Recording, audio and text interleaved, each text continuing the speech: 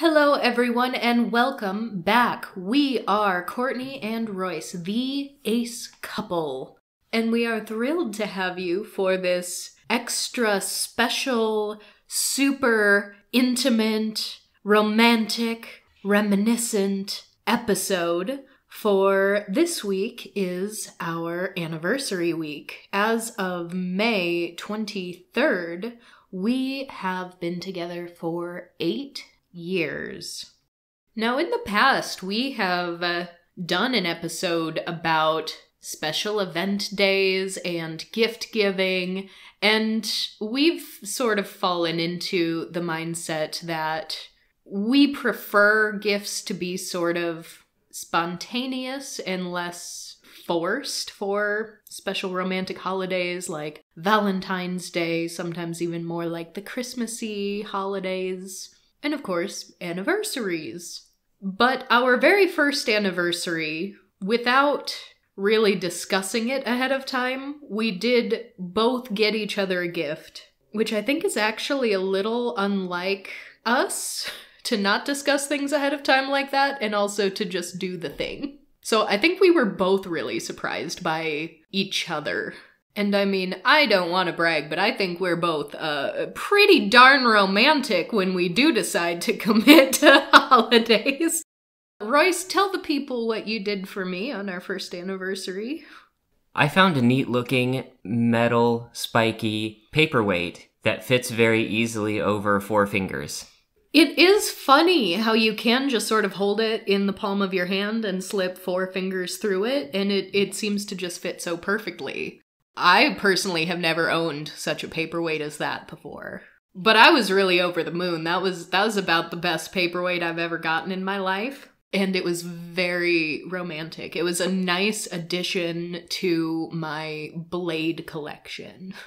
But today we're not here to talk about the paperweight. Today we're here to revisit my anniversary gift for Royce because I wrote 365 I love yous.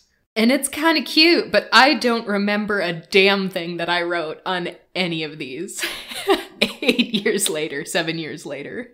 I'm trying to remember when you gave me this and I started pulling them all out and reading them. Was there also some sort of a printer debacle, or did you have to cut them all with by hand with scissors or something? Oh my gosh. So this is ridiculous, bordering on embarrassing, but but let me refresh your memory of exactly how this went down. So, my original intention from like day 1 was to handwrite a different thing about you that I loved or a different thing about our relationship that I loved. And every day I wanted to handwrite something and keep a record of this in some kind of journal for the entire first year a couple issues happened with that. Uh, one, some days handwriting things is just very difficult for me, a lot of pain in the joints and whatnot. and also, we just don't have any private, secret rooms or places or hiding spots really at all that aren't just free game for both of us. So I saw very little way that I could keep any sort of writings or journals or papers totally secret from you because we just don't really have any any secrets. So I kept them in an Excel spreadsheet back before we had like shared Google Drives and things. The last place I would think to look for something important, Excel. Honestly, at that point, did you think that I would ever open an Excel spreadsheet and use it for my own personal anything of my own volition? Courtney is famous for completely freezing up at the thought of manually measuring something. I hate measuring. It's my least favorite activity in the entire world. So, spreadsheet math, while not the same thing, Probably also not very fun. Well, it's it's not fun, but it's also just I don't like keeping track of virtual documents and files either. Oh, I like know. measuring aside, I just I know I've opened your Google Drives before and seen like 70 untitled documents, half of which are empty, half of which have notes in them. it's a mess. I'm a mess. so, yeah, I I kept these in an Excel spreadsheet somewhere where you would never look because it would never once even occur to you that I would be doing this in this place. But then when I did actually have to do something about this, I was like, well, I can still handwrite it all like within a day or two up to it cuz I I can I can hide this for a day. But oh no, I, I was not about to write that much. My my wrist couldn't take it. It was not going to happen. So it's like, well, I guess I have to print all of these out. And in order to do that, I literally went to like an Office Depot and brought it on like a flash drive and had them print it all out. And I used one of those big like guillotine choppers Okay. to chop them all, I was like gonna say several pages at a time. I was gonna say I don't even remember if we owned a printer at that time. I don't think we did. Well, I- we, I got- we might have, but not had like any ink in it or had it hooked up to anything. True. I got really crafty for a while and just didn't own a printer scanner and totally hand wrote signatures, took a picture of them, photoshopped them onto a couple of documents.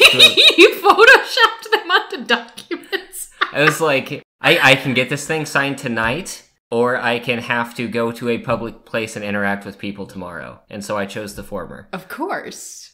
That's really funny. This is why we just need more documents that allow e signing. But yes, so I, here I was in the middle of the day, because this was back when you still had an office that you went to to work. So I still had. I still worked from home and I had free reign of the house during the day. Back, so back in the midday. back in the before time, the the long before time. the long long The ago. long, long ago, Courtney went to an Office Depot to print out these cheesy little romantic messages about all the things I love about you using this this damn guillotine chopper just to try to cut down on time. And I was like, let's see, I think I can get 5 pages at a time. But but then I had all of these, you know, little skinny strips of paper with all these printed things typed and I was like, well, there's no pretty way to present this to you because it's not like beautiful calligraphy and in a handwritten journal like I originally intended. So I, who previously was a store manager of a Things Remembered once upon a time, remembered that that's a place that exists. You remembered the things. I did. I did remember the things. So I went to the things. I had to go to the mall. I went to the mall for you. I went to the mall and I was hoping for some kind of beautiful box, something very decorative, but I had to get really creative because they did not have any sort of thing like that. So I found a vase, just literally like a vase with a little bit of cut crystal at the base. And I went, yup, that'll work. I had them engrave the words 365 I love yous on it. And I just shoved all of these little scraps of paper inside. They were mildly difficult to get back out just now. It was not my most aesthetic decision, but I had one day to get all of this together. so, to get all of this into a physical format. And yes, you got home from work that day. I gave you this vase. I really didn't know how you were going to react, but I wanted to do it, so I did it anyway. And to my delight, you you really liked it. You you got a bit emotional and that made me happy, but yeah, we just have this vase now, and it it's just part of the decor in in a part of the house now. But we we have not touched these since that first anniversary. So yeah, the the scraps of paper have now taken the shape of the vase, and we have laid them out on the table, and we're just gonna go through them, and we're gonna see. I don't imagine we're going to read all 365, mostly for time's sake. I don't think there's anything too personal on here that we wouldn't say, but I can't remember what's written on these. I I can't remember what's written on these, but we're about to find out. You told me the first time that I did this that it was impressive that I got them all out without tearing any of them. So let's see if we can do that again. Yes, let's. I wonder if there are going to be any, like, forgotten memories that we're going to unlock. Probably. Yeah, these are literally just knots of paper. that we're needing to untangle very carefully so as not to tear them. The first one is I love you because you tease me about getting emotional about sappy things. Well, that's true.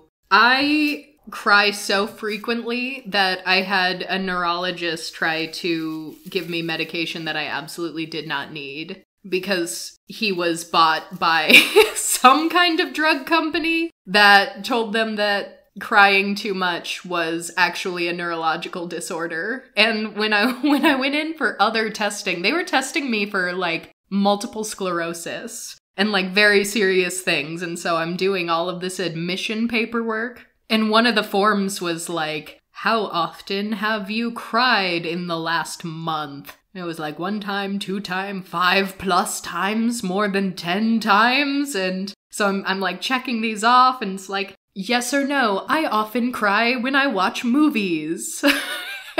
and I'm like, yes, I, I do often cry when I watch movies. And they're like, well, you know, that's a neurological disorder. Here, let, let's give you a doggy bag of medication for you to try. Stuff that once you start taking it, you'll have to be weaned off of. So you'll need to get a prescription anyway after this if you start taking it. And I was like, oh, no, no, no, no, uh, no, thank you. I requested that paperwork and it was literally branded with the drug company. So anyone who's not in America right now is going to be like horrified, but that happened. Yeah, you got a sampler bag of drugs with withdrawal effects. Yes, a do- doggy bag of drugs because the drug company paid my doctor to give it to me. I was like, no, I actually like that I cry when I'm happy. Thank you very much.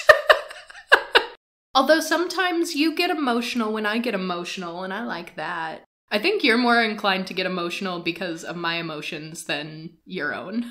I think that's true, and I don't have an explanation for that, but there is a very social, sort of vicarious emotional state that I have. And I don't know if that's somehow intertwined with possible neurodivergence and like social anxiety. Maybe I'm just hyper aware of everyone around me. And so when everyone around me, when I assume that people around me are feeling a particular emotion, I somehow like experience that as well. This next one, I think perhaps some of our listeners can attest to. I love you because your voice is suave and soothing.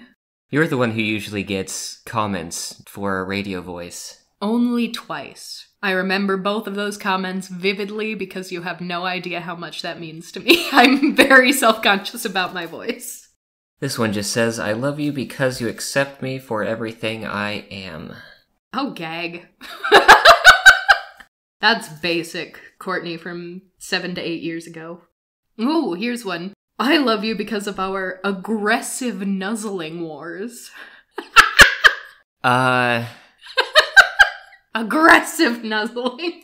We still sometimes kind of do this when we're really silly, but it's it's less of a thing now. I forgot how much of a thing that used to be. I can't even remember it being that much of a thing. It's just like shove your nose into the other's neck and and nuzzle apparently aggressively.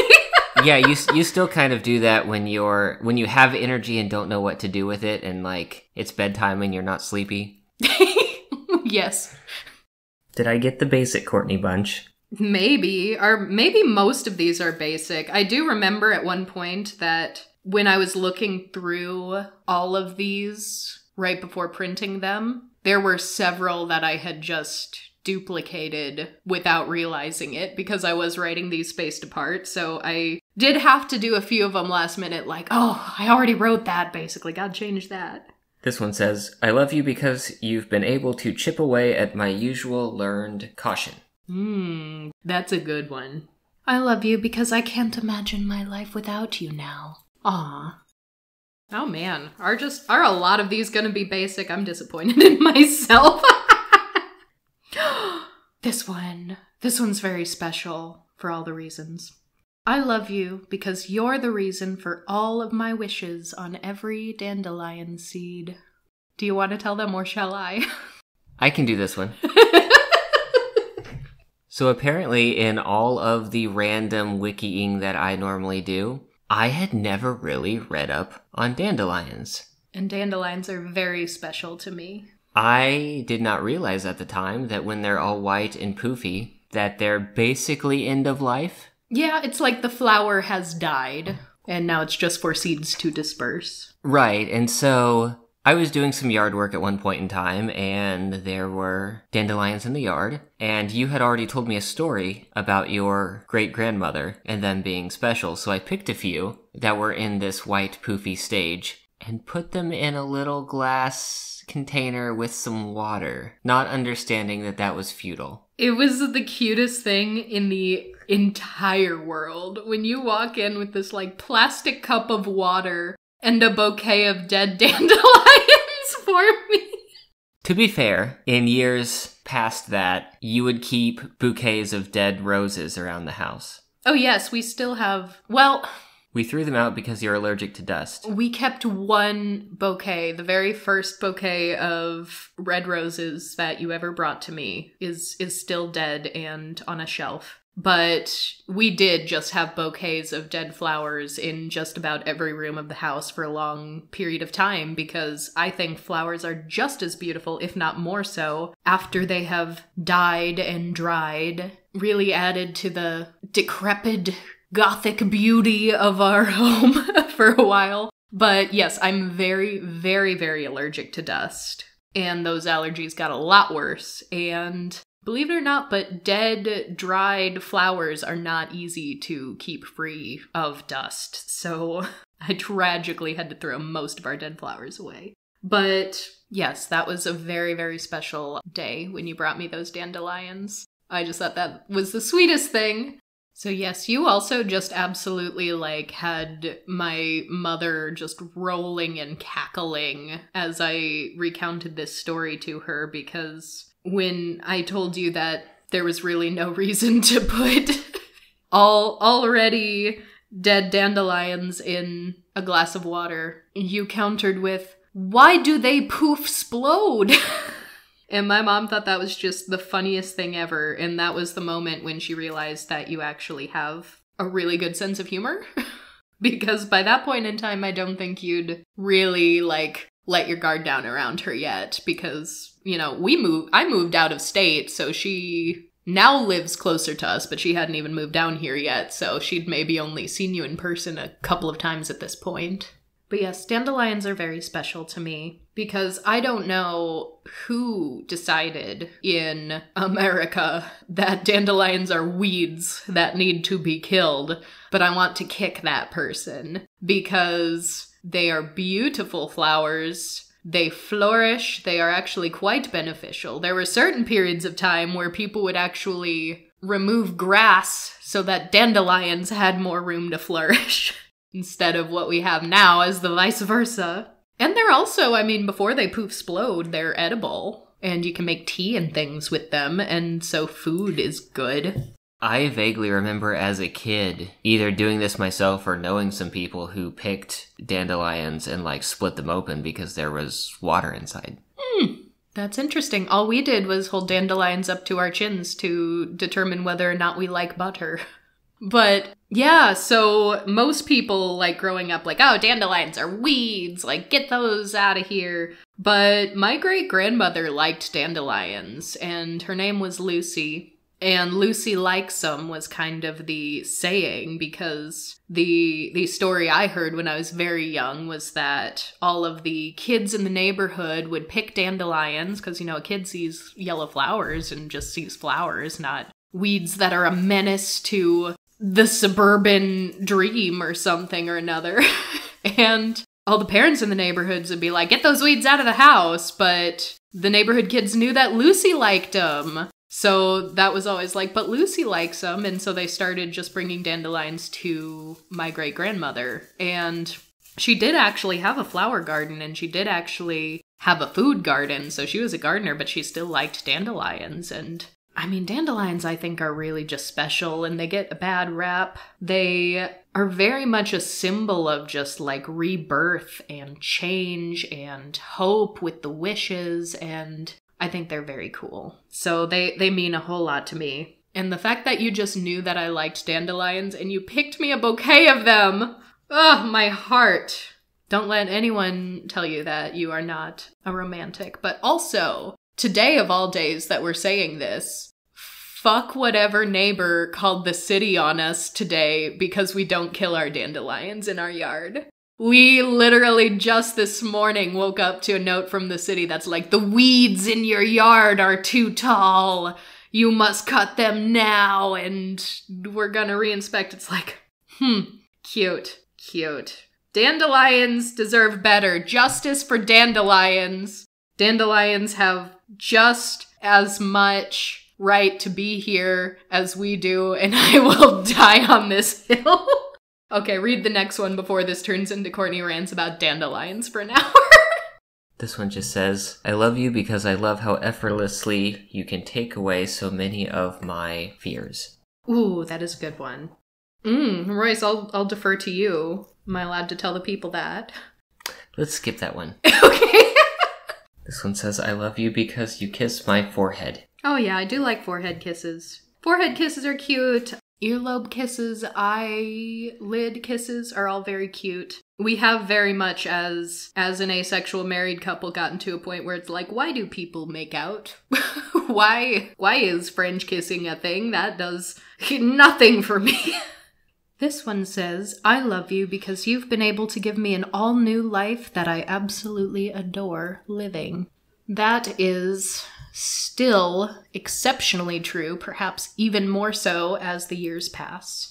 I was a miserable little husk of a human for nearly my entire life, starting at a very young age before I met you. And I don't want to do the corny, sappy thing like, it's only you and nothing else because I, I definitely lived in a city that was very toxic to me, one that I definitely wanted to escape even before meeting you. And so the fact that I was able to get out of the city that was so unkind to me and also sort of start anew in a new place while also being with the love of my life, that certainly helped. But the added financial stability of being partnered with someone who had an income gave me the freedom to then start my business and become an entrepreneur and do a lot of things that would have been nearly impossible if I had stayed completely single. If not impossible, at least pushed back by years and years and years.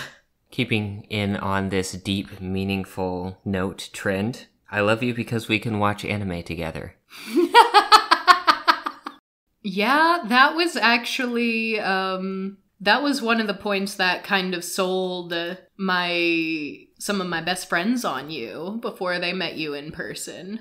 Oh yeah, um you mentioned her on this podcast before. Your QPR friend who got you onto OkCupid in the first place? Yes. we also messaged me at some point and was like, so she messaged you like while we were still having our first conversation because if anyone remembers back to our asexual love story episode, she would occasionally send me links and be like, This is your new husband. And I had just no interest in these people. So while I was having my first conversation with you, I sent her a link to your profile and I was like, No, this is my new husband.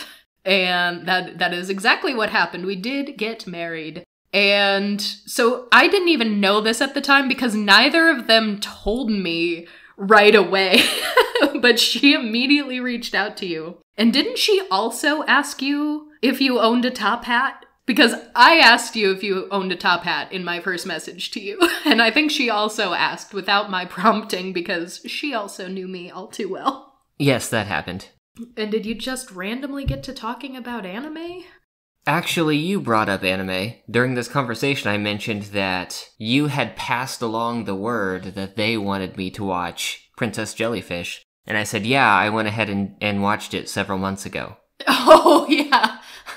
Because then for like, I don't know, the next month or so until I actually met you in person, she was just like referring to you as the time traveler. so, yes, I'm I'm a little afraid to actually dig back into those old early messages, but I don't I don't know, maybe maybe if the audience likes this little trip down memory lane, maybe maybe that's a next year anniversary or ooh, a 10 year anniversary. Do you think we're still going to be doing this podcast in in 2 years? Possibly. If we have enough to say. If the people continue to listen, we will continue to talk. I love you because you can teach me new things. Do you remember when you taught me how to code and I did it very successfully all on my own? Uh, no help whatsoever. Was that the how to automate cookie clicker Cookie day? Clicker, you helped me hack Cookie Clicker. oh my gosh, I forgot that we did this. This was very cute of us. I love you because we would draw things back and forth by text. Oh my gosh, that was early, early, early. Do you remember? That's a secret memory. Draw things via text. Yeah, we would. I don't even know what we used, but we would like send a picture of something that we just drew on the phone, and then we'd add to it and send it back. Back and forth like that. Oh, I don't know what probably discontinued Google thing that was. I have no idea. But no, I, I know. Yeah, I remember now. That was old school. I love you because you let me lean on you when I'm having trouble walking. Oh my gosh, I was so happy. Just very recently, we got a comment on one of our older podcasts talking about disability when I mentioned how sweet and surprisingly rare it is that you slow down to keep pace with me and never get frustrated that I'm going slow or walk ahead of me. And one of our listeners commented and was like, OMG, Royce, Royce slows down and, and walks with you. And at first, I feel like you were really shocked that that was such a rarity and that most people are jerks and will just blame the disabled person for being slow. But that's a really, really, really important thing. I love you because of how easily you can pop my back. you are very good at popping my back. I also just saw one that was like, I love you because you rub my back when I'm sore. But in recent years, like since then, we've gotten very serious about back rubs. We we have like technology for that now. like a a massage gun. you just started cracking up. What did you find? I love you because you pick me up and won't let me down when I'm feeling feisty. What was that from? I don't know. I love you because you used dance choreography to describe computer programming to me. Specifically, the game design aspect of programming. And it must have worked because, hey, I hacked Cookie Clicker all by myself with no help whatsoever. And I could do it again. Don't make me prove it. I think it was specifically the idea of stage makeup and stage mannerisms being similar to how sort of old school 2D games would have to choose their pixels wisely to convey emotion because they had so little resources to work with. Following off of that, I love you because you've given me my first, in parentheses, teeny tiny spark of interest in technology. See, this one's interesting to me because I don't remember this happening within the first year, but I feel like it just occasionally happens every couple of years. I love you because you get me vitamins because you want me to be healthier. I don't know why you got me vitamins in the first year, but I don't remember. There must be a conversation because I'm pretty sure I've known for a long time that if you are eating a fairly varied, healthy diet and also have a body that can actually absorb nutrients properly, vitamin supplements are unnecessary. but I don't absorb things properly. No one knows how the hell I absorb things, but it's not the normal way. I love you because you have the best taste in stuffed animals. Oh, you do have. Oh my gosh! It wasn't just the paperweight! It's all clear to me now! Do you remember? I'm gonna be back! there were two other anniversary gifts! Now help me remember did you get these two boys at exactly the same time? Or was it like you got me the effluent and then the boon ball later? I don't remember. It I- may have been both. It may have been a big one, little one situation. Big one, little one. Always gotta have the big one, little one. I feel like I took the little effluent with me like the first time I went back to visit people in Sioux Falls without you. And I feel like that's why you got me a little effluent. But that was also when you just like downloaded ridiculous YouTube songs and set alarms throughout the entire weekend to go off randomly. I, I feel like it makes sense to get the thing that punches and the thing that is immune to punches at the same time. Mm. Because the baboon ball is definitely throw slash hitable. The boon! so you thought, hmm, if I give Courtney a very dangerous paperweight, she's gonna feel feisty. So I better get a great big round stuffed baboon so she can throw that at me that will not cause irreparable damage. I don't believe I thought that, but I'm not gonna argue that it might have been a good strategy. All right, well, Boonball and Ethelint are gonna sit sit right here with us. and the stuffed animal thing came about because you used to have quite the collection.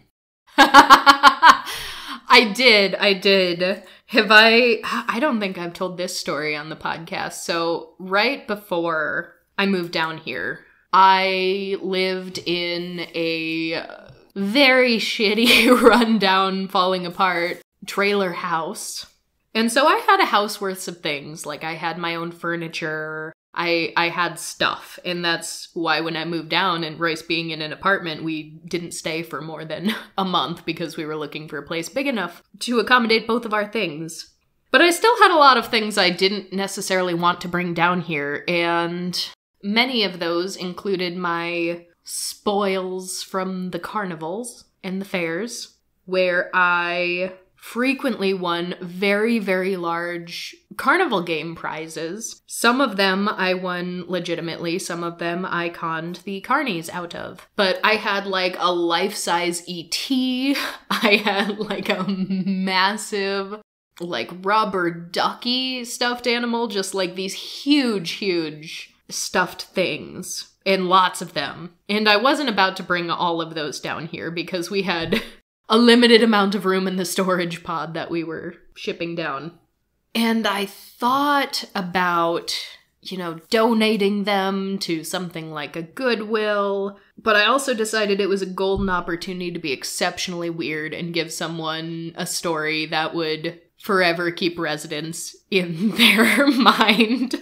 So I just drove to like the middle of a country road with all of these massive stuffed animals just like squished into my car, just overflowing, popping out of the windows. And I just left all of them lining all up and down a country road that ended at a dead end. And I don't know who found them. I don't know what they thought when they did, but I hope it was weird for them.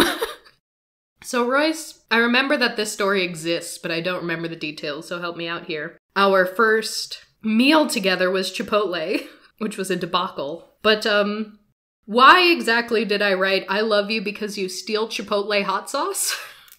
Oh. so, the little town that I grew up in didn't have a Chipotle. The first time I had had Chipotle was when I lived with a few roommates and one day while going to get some food, one of them just grabbed one of the little hot sauce bottles and threw it in their bag with their food and we took it home. And so that became a habit. Scofflaw. I have a few here. I love you because you're the biggest, most pleasant surprise of my life. Followed by because lying upon your chest is the most comfortable thing in the world and because you have the best cuddles. You do have pretty good cuddles, I'm not gonna lie. I wasn't even terribly fond of cuddling until I met you, if I'm being perfectly honest. This one says, I love you because you're a, quote, cisgender, heteroromantic, non vanilla, borderline asexual. Is that what my profile said when we met? I don't think that sounds right. I. My memory explicitly says that you had the words heteroromantic asexual. Okay. The cisgender thing is definitely has been debunked at this point. Debunked. False. Antiquated. I love you because of your incredibly impressive eyebrows. And also, I love you because of your long flowing hair. The hair started it all, really. I love you because I catch myself smiling uncontrollably when I think of you. I do be doing that, though. I think I think some of these that I wrote was still Courtney being like, "Wow, so this is what aesthetic attraction is like." Because I I have had so little aesthetic attraction in my life that you are such an anomaly. So some of these I'm reading and it's like, I love you because the shape of your nose is perfect. and your eyebrows are impressive.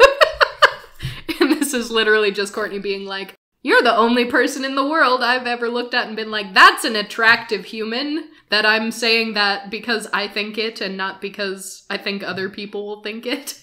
I'm also seeing a number of ones that are like younger Courtney being like, oh, physical contact is okay sometimes, I guess. Yeah, it's okay, fine. It's fine. I can't tell if this is sarcasm or not, but I said I love you because of how very humble you are, which I don't know because it could go either way. Because I think publicly and around other people, you are naturally very shy and humble, but when we're also together, sometimes just for the sake of comedy, you will intentionally say something that is not humble, and I'll be like, oh, and you're humble. So I don't know if that was genuine or sarcasm. Both kind of fit. I don't try to be overly dismissive of my own, like, talents or abilities or brag. I, I would like to be more accurate unless there's comedy involved, and then whatever is, is funniest in the moment. I strive to be accurate unless comedy is at play. This one says, I love you because you've assumptively spoken about our relationship being long term right from the beginning. When you know, you know. I love you because I couldn't have printed these notes without your help. I can so tell that some of these were written on vastly different days because I can tell some days I was feeling poetic and romantic, and some days I was just being really blunt or a little bit silly. Mm, I love you because of how often we just stop saying the first syllable of words. That persists still to this day. One of my biggest fears going into this podcast was that since we at home have our own kind of like shorthand, and we've also discussed all of these topics just over the course of years on our own time at our own table, that we're going to say something assuming the other is totally on the same page. but if we get too on the same pagey, that the audience won't know what we're saying. I think we've avoided that for the most part, but we definitely, when we're at home, just drop the first syllable of every more than one syllable word. and I don't know how that started or why we still do it. I wouldn't say every. It's certain Just words. about. Sometimes. I love you because you took aforementioned friends' advice to, quote, actively engage in courtship with me. Did she tell you to do that? That's cute. I love her. She's the one I played Cookie Clicker with. We had a cookie clicker that was running for like months. The first message from her actually said, I heartily approve of any and all courtship that you may pursue. ah, she had your blessing right from the start. That's adorable. That message ended with, please purchase a top hat. She knows me so well. And you did. You did purchase a top hat. It was a horrible one. You you really have to work on your taste in top hats. It was a cheap top hat for the purpose of the gag. Hey, it's the thought that counts. We rented you a better top hat when we took our vampire portraits. I love you because you humor me when I win free things. Now, what was that in the first year? Was that all of the you might get a gift if you agree to being sold to for an hour sort of things? Maybe one of them? But I feel like a lot of those happened in this house after the first year because I famously like to fuck with door to door salesmen. It was direct buy. My friends, if you ever attend any sort of convention for newlyweds or homeowners or anything, and there's a company called Direct Buy, run in the opposite direction. I love you because you bring me tea or coffee when I come to your office. Oh, you did do that. Back when offices existed. I love you because you watch adorable little children's movies with me. We still watch Disney movies and whatnot. It's true, we do. And sometimes things that we watched as kids just because we hadn't haven't seen them in a long time. I was much more a Miyazaki gal than a Disney gal. I love you because you didn't get scared away by my general creepiness.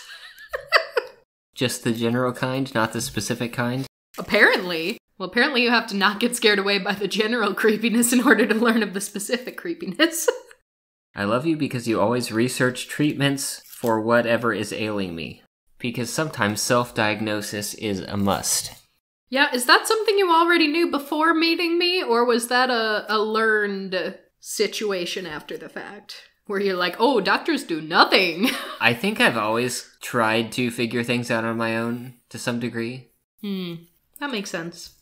I love you because sometimes you let me have your blood when you get a cut. It's true. That was definitely a selling point. this this is definitely OG Courtney and Royce. I love you because we can be ridiculous playing Sneak King in Burger King crowns. Oh, that was very that was a very time appropriate one. That was so good. We learned that Sneak King was a game that Burger King actually made where you play that creepy ass Burger King mascot and you sneak up on people to deliver them food.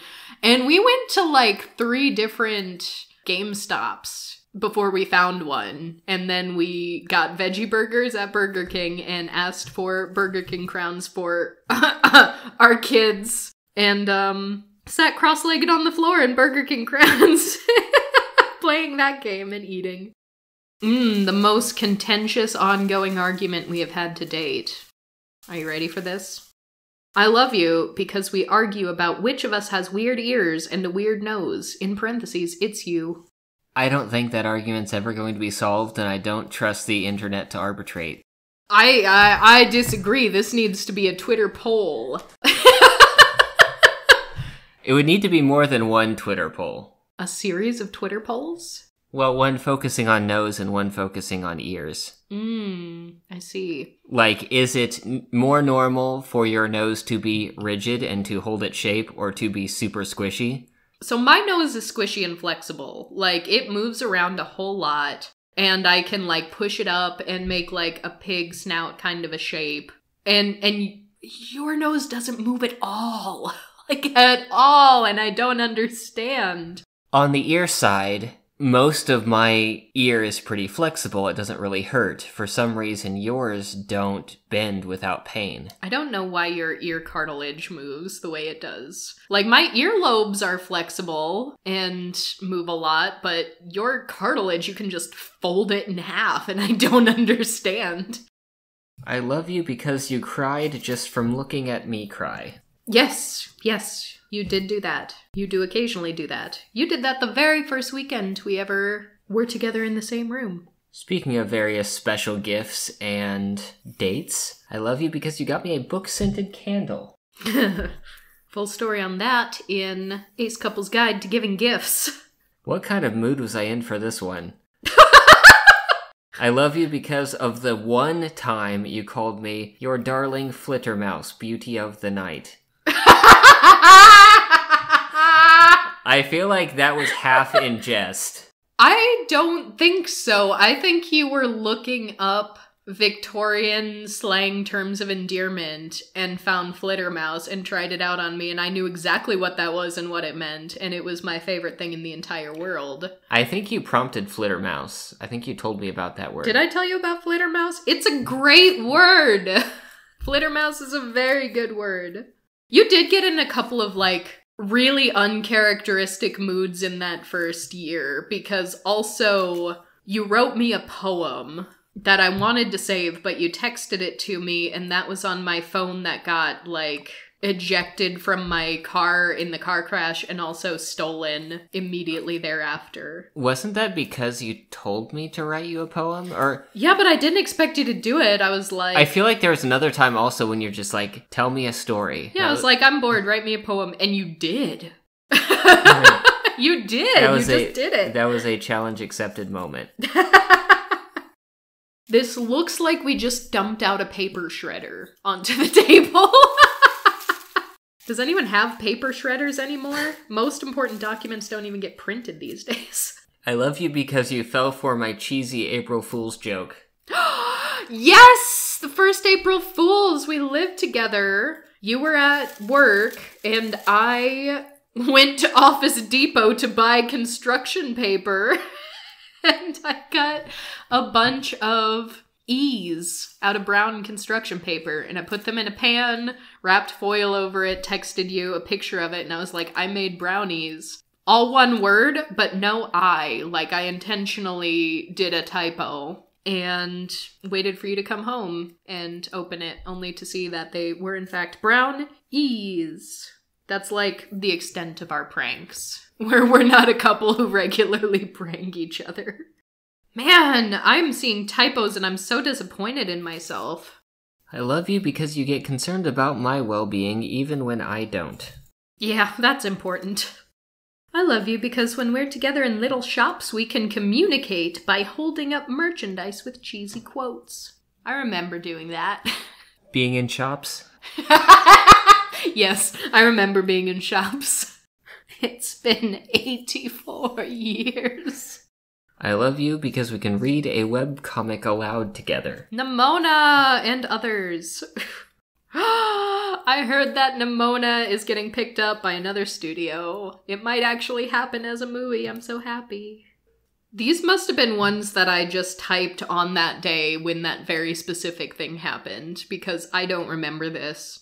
I love you because you say awkward things like, I like your, um, general appearance, actually. Pretty much everything. I think you're quite attractive. Such a romantic. That was some early ace vibes. Exaggerated for a laugh. This one says, I love you because I feel like I can still grow as a person and still have all the room in the world for you in my life. Ooh, that's good. Well done, past Courtney. I love you because you don't shout. Some of these are like filling in gaps in the timeline that have just blurred together over the years. I love you because within the first evening of speaking, I was offered the most important weekend invitation of my life. So you invited me to come down the very first night we started talking? That's what that sounds like. Yeah, probably. That makes sense. That sounds like something I would do. I love you because I've never felt this healthy before. That's true, but also, now that you say that aloud, that is like a little too close to an Alanis Morissette lyric for my liking. hey, it's a good song though. I love Alanis. I love you because when I'm having a bad day, you bring home pumpkin pie and chocolate. Yeah, you did do that. Back when you were working at an office, there were definitely times you would like leave early so that you could stop by Costco on the way home and bring me treats if I was cranky. I love you because I never knew that a love could be so strong. That's vaguely arospec Courtney being like, oh, this romance. I see. I love you because I cannot predict your moves when we're playing chess. Ah, the way you play chess is very weird. I love you because you take me to brunch often. Do you remember brunch? brunch that we didn't make at home ourselves. Vaguely. when we'd go outside to a place, go to little vegan hipster places that served you little Richards and mason jars. espresso and Coke. Yum. Hmm. We have an espresso machine now, but we don't really keep soda in the house usually. But I'm halfway tempted to get a Coke just so we can make a little Richard someday. Because now I remember that's a thing. I love you because you don't mind when I dress in unconventional ways. Dare I say you even like such things? Yeah, probably. I mentioned braving the mall for you. Courtney's life hack. If malls still exist, I don't know. I haven't been to a mall since since the quarantine. My life hack for going to malls is if you must be at a mall and you must be in public with so many people in so many stores, wear a Victorian ball gown with full hoops, crinoline, because it's almost guaranteed that there will be a small child who will be delighted by your presence and want to dance with you. And that will just be enough to make everything else okay. I love you because you feed my weapon addiction. I wrote that before you gave me the paperweight for our one year anniversary. What was before the paperweight? I don't even know. Going back to the blood and general creepiness, I love you because we both enjoy morbid things. I feel like there are going to be a couple of listeners out there who are going to recoil and be really surprised and perhaps even off put by those comments, but like, since day one, our profile picture has been Victorian vampire portraits. we haven't been subtle. I love you because you broke Cookie Clicker and tried to teach me as well. I tried. You succeeded. I have since hacked many video games all by myself ever ever since. I am master hacksaw. MailChimp Fast Fives Grand Champion until they reset it. Oh my gosh, that's a great story. So when I started my business, I started using MailChimp for my mailing list. And they used to have this leaderboard for fast fives where when you clicked send on your email there would be like a chimp paw that was just kind of smacking the screen and it would say like high five. And the first time i saw that i was like i want to give the chimp a high five so i clicked on it when it smacked the screen. And that instigated the surprise game fast fives and it was like fast fives game on and it's just a bunch of chimpans that come from all different sides, but sometimes it's not a chimpan, sometimes it's a foot and you don't want to high five the foot, and sometimes it's a knife. You definitely don't want to high five the knife. And I played it and had a grand old time, and then Royce was like, Yeah, I can hack that. The the game was entirely front end HTML and JavaScript, and everything was tagged very nicely. I know exactly what all that means for the record. It was it was pretty trivial to write a program that would just click things perfectly very very quickly. Yes, because it sped up as it went along. So after it ran for like a minute, it was going so fast you couldn't even see the graphics anymore. It was just Well- like a white screen. well, that was because I artificially sped it up Oh beyond the normal means. oh my god Because we can't let this thing run for days on end to beat the high score. even though we did, because after we hacked it and got like immediate number one on the leaderboard, someone else shortly thereafter did the same thing. So we did it again and did leave it running for a prolonged period of time. It was just ridiculous. But the leaderboard was like, it, it asked you for your Twitter handle. So it was my personal, I don't want to say personal because I've never really used Twitter just for my personal account, but it, it was my business account that I set up when I started my business was the top number one on this leaderboard for a prolonged period of time. And occasionally I would have random people tweet at me being like, congratulations on being number one at Fast Fives. You had a couple of developer accounts ask you how you did that. I did, yes.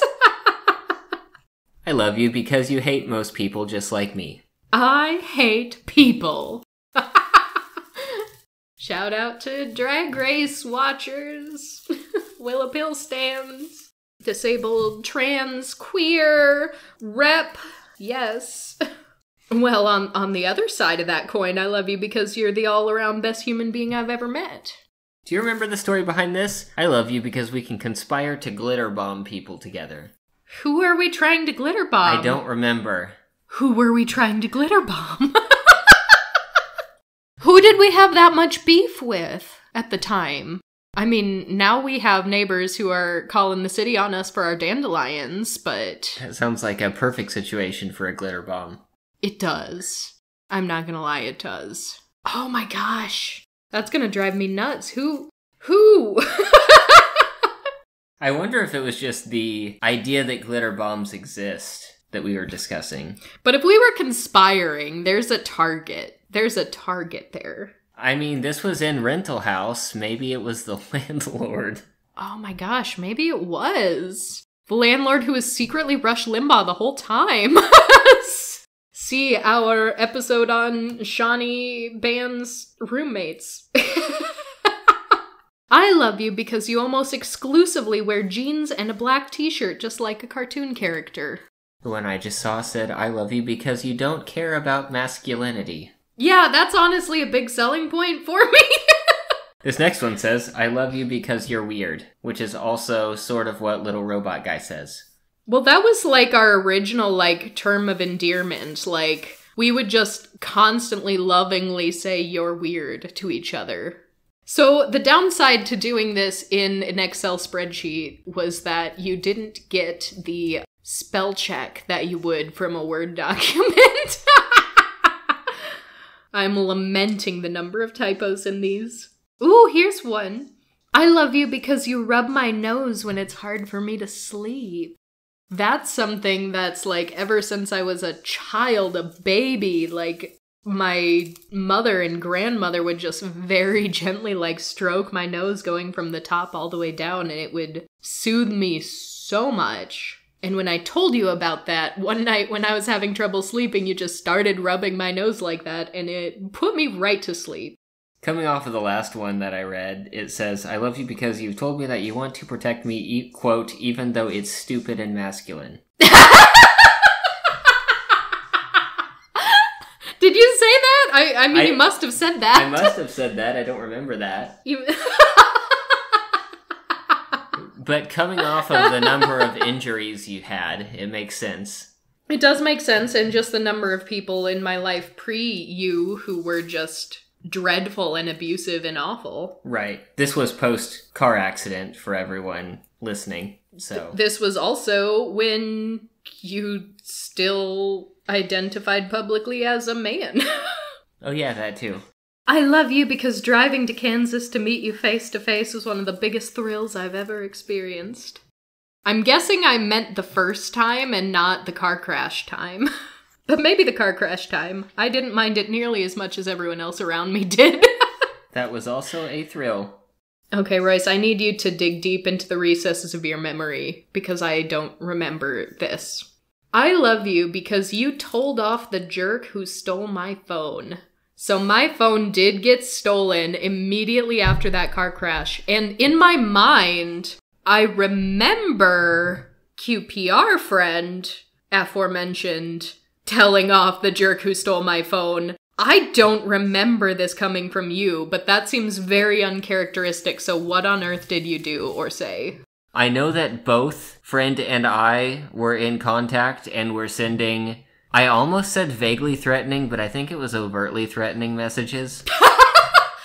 Little little little recap. We we discussed this in probably a combination of our asexual love story and I almost became an asexual lingerie model because the reason why this was such an issue is that well my phone got stolen while I was you know trying to plan moving and things and so it was just horribly inconvenient but I had photos from my first and only lingerie photo shoot on there. And I am someone who has like never taken nudes. I have never sexted. So like in hindsight, these lingerie photos from an actual legitimate photo shoot weren't horribly raunchy. But in my younger asexual brain, I was like, nobody can ever see me in these. And that's half of the reason why I quit modeling. But whoever stole my phone just found those photos, the only pseudo raunchy ones there were, and sent them out to a bunch of people on my contact list. So, like, you and my other friends knew that my phone was stolen before I did, before I even realized my phone was gone. What were the threatening message? What what what could you have possibly said? I don't remember. I think we were trying to overplay our hands on like having tracking on the phone or things like that to try to just get them to like I will Drop find it. you. kind of things. Interesting. See, that is super, super interesting because, yeah, it makes sense that you conspired with other important people in my life with that. But you are normally so non confrontational in just about every situation. Yeah, I mean, there have been exceptions. Like when we were having landlord problems, you were also surprised by a couple of messages I sent that was like, the thing that you're trying to do is bullshit, and also here are these three Kansas laws that you're in violation of, and That did surprise me because that's normally my job is to to threaten people with legal action. I'm normally the one who does that. But yeah, we did have one issue with a friend, which is very much a later episode kind of a situation where you also did get very direct, but that's exceptionally rare, rare for you. Right, and that was also a major breakdown in communication where I thought that the only hope of salvaging things was to be direct and to like throw everything out there. Spoiler alert, that friend was kind of ace phobic. and that was a big reason that we got to that conversation in the first place. And that's very much why we want to dedicate our own episode to that eventually when when the wounds have scabbed over. Still a bit of a sore spot. I love you because on a tough day you're willing to run a bath with bubbles, wine, and candles for me. You still do that. You run baths for me, and I love you for that. This is a pre pandemic one. I love you because you make fun of idiotic people from work with me even when you haven't met them. Mmm. Yeah, yeah, back when I was still using words like idiotic. Those are words I may, in extreme cases, use to refer to myself and my own neuroses, but I, I've pretty much phased out language like that being referred to other people. There have been a lot of linguistic changes in the past 10, 15 years, I feel like. Yeah, definitely. I mean, we learn, we grow, we, we better ourselves. I love you because our very first conversation was engaging and that we still to this day have stimulating ideas to talk about. Yes. Mm, I love you because we have loads of differences. Which is interesting because we also have loads of similarities, but I don't think I would have written that. Maybe I did. I don't know. There's 365 of these damn things. I love you because you still text me when you're at work. That's fun because we still text each other when we're working in exactly the same house, but just in different rooms. I love you because we can spend a whole day at an art gallery together.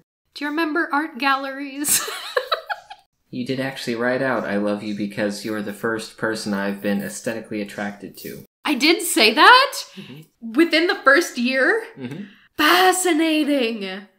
I love you because I have confidence in our future. And that confidence was not unfounded. We're doing pretty okay. I love you because you put up with all of the silly, out of context things that aforementioned friend and I send you. Mmm, yes. We must have been a handful. Did you ever give her a cookie? I feel like early on it was determined that you owed her a cookie. She promised me a cookie. She promised you a cookie? And I never got a cookie. Oh, dang.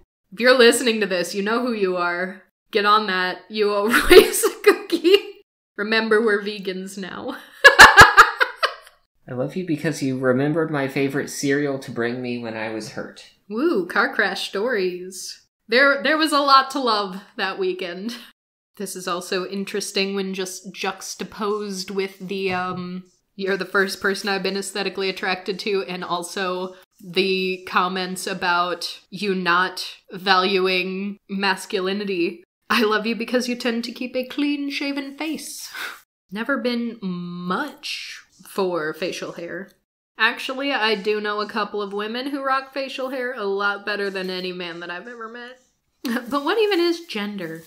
I love you because you decide programming a coin flipping application is easier than finding a coin to flip.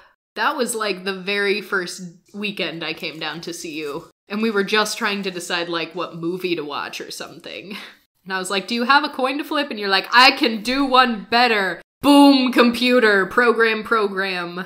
In hindsight, the fact that I was Using a phone to control a computer that was plugged into the TV made it more complicated and difficult to type. but I didn't need to get off the couch. I love you because sometimes you want to be the little spoon. Both spoons are comfy sometimes. We are verses in our spoonage. I love you because you can surprise me so easily when you want to. You know what this reference was? It says, I love you because sometimes our love is comparable to unicorns and dragons. What the hell? no, I don't know what that means because I think this was before dragons took off in the ace community. And also, have we just been getting re obsessed with unicorns over the years? Because I would have thought that we only took an interest in unicorns like two years ago tops. I have no frame of reference for this one. What does it mean? We are we are mythical. I love you because you never doubt me.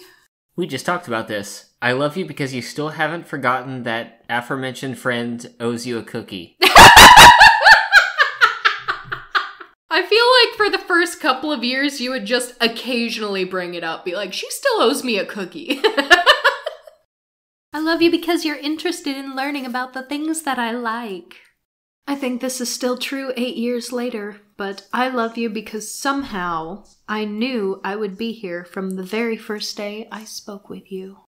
I love you because you appreciate my accents, voices, and impersonations. What impersonations did I do for you? I feel like that's something I did when I was way younger, but I don't remember doing as many impersonations as an adult. I don't remember impersonations. I feel like it was mostly accents. Yeah, yeah. I love you because I have someone amazing to come home to. I guess I did teach dance lessons right off the bat, so like I'd come home late at night. But that very much feels like more something you would have said early on. I was gonna say back in the time when you would leave the house and come home. I do remember the very first day that I lived down here when you went out to work. You texted me in the middle of the day and said something along the lines of, like, I just smiled because I just remembered that I have someone to come home to. And I, like, sobbed. Speaking of sobbed, I love you because you sit with me even if I cry for a solid two hours. That one was more specific than the one I just read that was like, you let me cry on your chest. A lot of crying, as we've established this. I love you because I trust you with my life and my heart, which isn't usually easy for me to do. Some of the days she was tapping into the melodrama. I love you because you always tell me to have fun when I leave, no matter what I'm doing. Yes, that's true. You still do that. Even when I know it's something you aren't going to enjoy, like a meeting. Yes. So this is so weird because there have been a couple of things where it's like, oh, I forgot about that, but I remember now. Or there were a couple of things that, like, I, I just have no idea what that very specific reference was. But there are a lot of things that we still to this day do, but it has become so ubiquitous in our life that I don't even notice it anymore. like at the time, this was a new person that I was learning to live with and really appreciating all of these new silly little quirks. And now they've just become so normal that I don't notice them anymore like I did in that first year. Yeah. But ha- they're still happening. have fun is like my okay, I'll see you later sort of thing. Yeah. I love you because you genuinely want to know about what I teach my dance students. Mmm. Yes, I have given you a couple of impromptu dance lessons in the living room. I love you because you're a creepy little person like me. Cheers to the creepy little people of the world. Here's another thing where we still do, but I'm surprised to hear that we did it in that very first year. I love you because we roast s'mores together in our fireplace. That wasn't even the same house. That was a different house. Apparently, that's just been a thing we've always done. So, is this one still true? It says, I love you because my heart still seems to miss a beat when you walk into the room. Figuratively speaking, yes, it is very much still true. And when I'm trying to walk out of the room, you suddenly remember a variety of things to ask me to do. I can't help it. It's like my brain is on a lag and it only catches up and buffers once you've left the room. I love you because you encourage me via meme while you're at work. That's another thing. You did that in the first year? You just made memes only to send them to me and not post anywhere else in the middle of your workday? Because you still do that sometimes. I don't think I generally made memes, maybe in extreme situations where I couldn't find one. I love you because you are willing to dance with me in the living room. I do love that. It's still very good. I love you because your weird has become a term of endearment between us. I love you because you have literally caught me when I've fallen. Literally! I love you because you make me stop scratching myself. Shout out to dermatillomania. Sometimes my brain goes, hey, you know what? You got too much of skin. Take it off. And Royce will um, confiscate my hands when things get too bad. I love you because I can sleep when I'm lying beside you. I remember when I was diagnosed with like five simultaneous sleeping disorders before I met you. and lastly, I love you because of the way you looked when you picked me up from my accident. That image is seared into my mind as one of the most loving, concerned, relieved, just beautiful looks that I have ever seen in my life. And although I knew from the very first day we were talking together that we would be here, that was sort of the last real confirmation that I wasn't just out of my mind and that everything was going to be exactly the way I hoped it would. So, I want to thank all of you who are here and indulging us in our sappy little romantic anniversary trip down memory lane episode.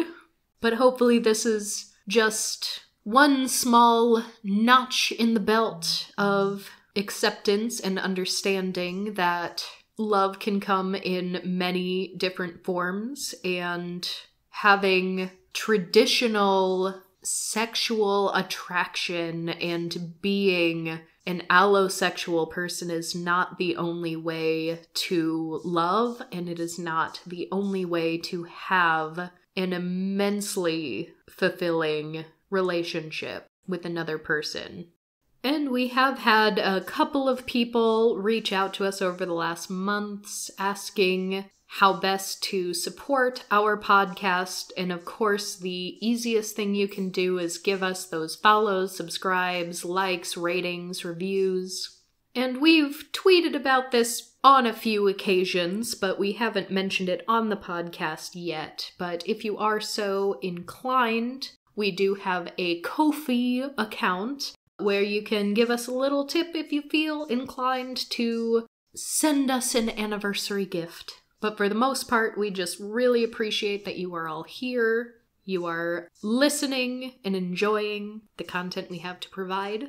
And here's to year number eight of our marriage and just about month number eight of our podcast.